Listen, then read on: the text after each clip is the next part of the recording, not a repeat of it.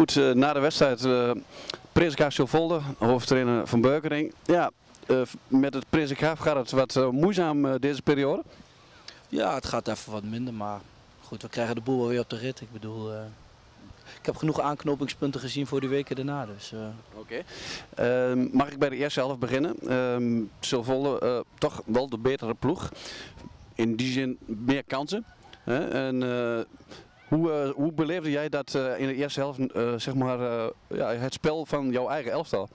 Nou goed, we hadden natuurlijk afspraken gemaakt. Hè. We hebben de laatste weken wat goals tegengekregen. Want in het scoren zit het hem normaal niet.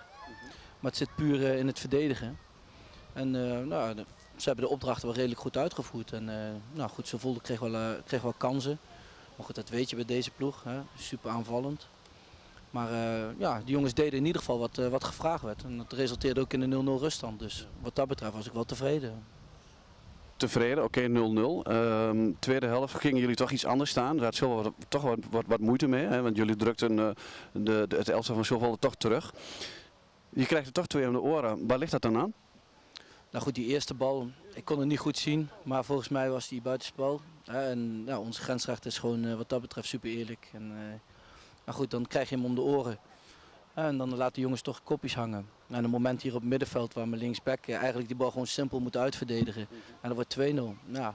En dan denk je van, we komen niet meer overeind. Maar ja, dan zet je alle, alle krachten in en dan, uh, dan ga je pompen. Ja, en dan krijg je nog wat mogelijkheden. Maar niet echt uh, super grote kansen meer. Oké, okay, um, Volle eindigt in een, uh, in een, in een 0-2 stand. Toch wel terecht, nou, als je gaat kijken naar de wedstrijd, denk ik dat, uh, dat gewoon uh, vanuit hun opdracht heel goed gespeeld heeft. En ja, het is al jaren een goed team. En wat dat betreft denk ik gewoon terecht overwinning.